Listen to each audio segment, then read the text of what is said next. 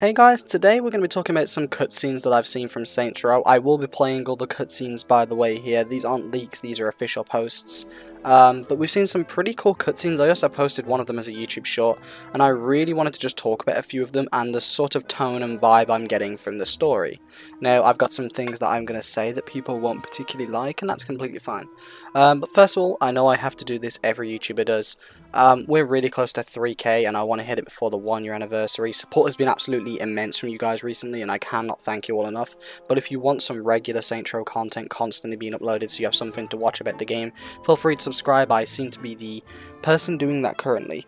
Um, but yeah, anyway, I'm going to show you these cutscenes now and let you all get into them really. Man, I'd hate to be the idols right now. Everyone at that party is probably gonna get killed. Oh shit. You gotta go. Fuck the idols. Looks like you're gonna back the fuck off. The Saints are here to stay, baby. Second by second, and in the same tone as them, but with the voice of the. Son of a bitch. Kev, I think it's time you throw us a hell of a party. We got a party going on, so I'm gonna keep this one short and sweet. Fuck the Panteros. Guys, we're really good at what we do. Yeah, what the fuck is happening? We're starting a criminal empire.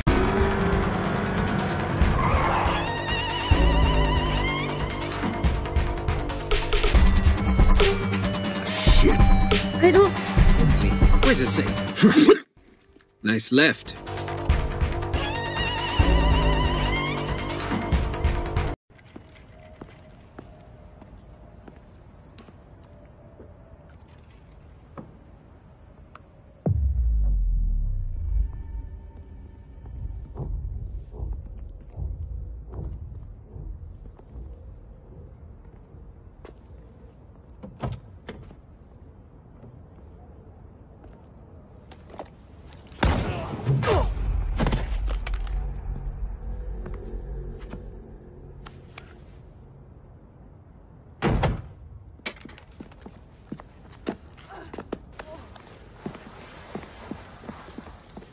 So, from what I've been seeing from these cutscenes, and I, I, don't know if you guys would agree, I can't help but feel that the tone that I'm getting from the game seems to be, well, kind of what they've told us we were going to get the entire time, which is Saints Row 3, but a bit more serious.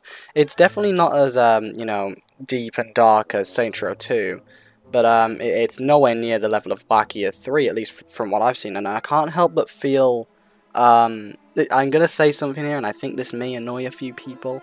I'm getting a Watch Dogs mixed with Saints Row 2 and Saints Row 3 vibe. I know Watch Dogs 2, oh, everyone panic. But completely honestly, I'm, seeing the good points of Watch Dogs 2. That you know, the, the vibrant colours, the really fun sort of... The, the way the missions look are kind of fun, and, and the cutscenes kind of blend well. Um, you know, and I can't help but feel I'm getting a mix of that from the, the story, but on the story, I, I just feel like like um, it kind of seems like we're going for a more serious route. I know that everyone's sitting there going, the characters look too young, and yeah, okay, fair enough. The characters are quite young, no one has denied that.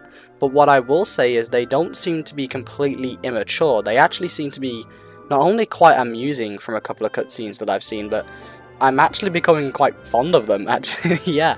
I, am starting to like them almost. Uh, you know, at one point I was sitting here going, you know what, I'm okay with these characters, but I'm starting to like them.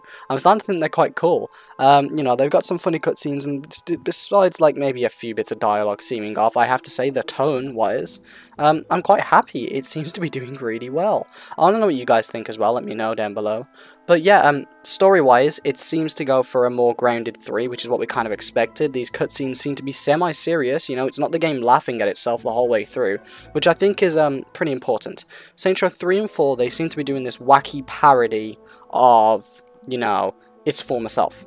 With this, it does not seem to be a wacky parody, it seems to be a bit wackier than 2, yes, but it's not a parody of itself, it seems to be taking itself like it, it, seems to be having humor but relatively serious. It seems to be you know serious missions serious goals but you know it has that comedic sense mixed in there which i, I think's great. I think that's what we needed. You know what we loved Saints Row 2 for was the fact it was a very dark and serious game mixed with humor.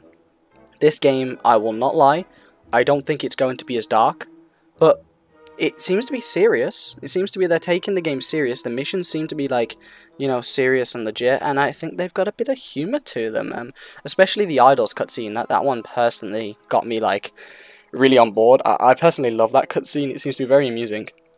And from all the other cutscenes I've seen, it, it seems to be nice and serious. So um, yeah. All I can really say is the vibe I'm getting from this game right now is it's not going to be laughing at itself the entire way. This game is not taking itself as a joke, it's supposed to be fun, but not funny to laugh at, like, as in the game itself. It's just supposed to be fun and have funny moments, which I think is great. With Saints Row 3, and specifically 4, you can see that the game was kind of laughing at itself the whole way through, you know, oh, look at this wacky moment, look, we have a dildo about all this and that, and it was hilarious. But I think that this does seem to be the game being funny instead of, you know, being laughed at at the same time, if that makes sense. It's hard to explain what I'm trying to say here, but the game itself is actually funny from what I'm seeing, and I mean, I can only say from what I've seen. But it seems to be uh, very amusing, and I have to say I'm I'm even more on board than I was originally. Let me know what you think, how you find these cutscenes. Uh, I quite like them. Thank you all for watching, and I will catch you guys all later.